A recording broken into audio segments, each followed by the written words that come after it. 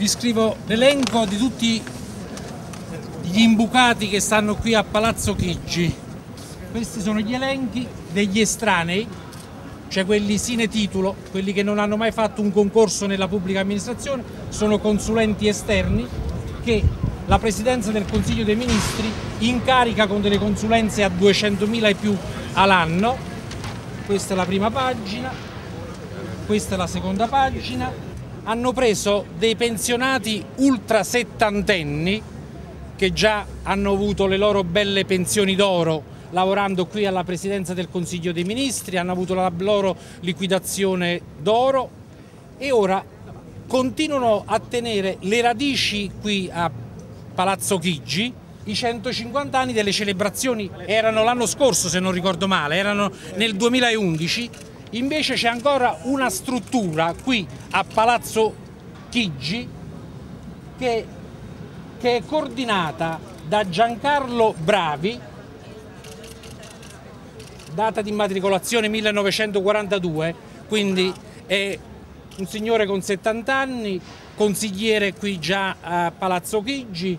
La preghiera che noi rivolgiamo al Presidente del Consiglio dei Ministri, che riteniamo una persona per bene, che però faccia delle cose davvero utili per gli italiani, cominciando dal palazzo nel quale risiede, perché tra l'altro per i dirigenti di prima fascia ha una dotazione di 80 unità, per i dirigenti di seconda fascia ha una dotazione di 214 unità.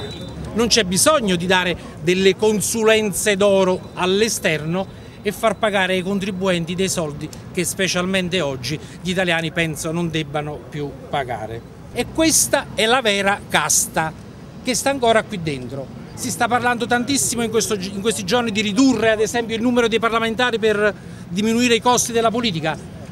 Allora basta che il Presidente del Consiglio caccia fuori tutti questi abusivi di Palazzo Chigi, ha fatto quasi lo stesso risparmio che riusciremmo ad ottenere se ci fosse la riduzione del numero dei parlamentari. Quindi come vedete occorre molto poco per ridurre questa elefantiaca macchina della pubblica amministrazione, questo Stato che è servito semplicemente per tenere un po' di amici, perché questi naturalmente fanno capo ai vari partiti.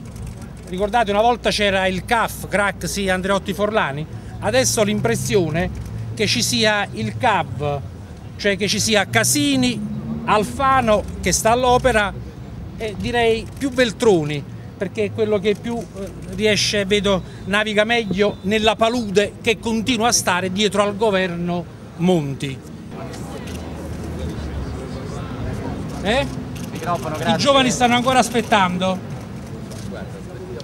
Togliamo un po' di ultra settantenni e facciamo spazio ai giovani.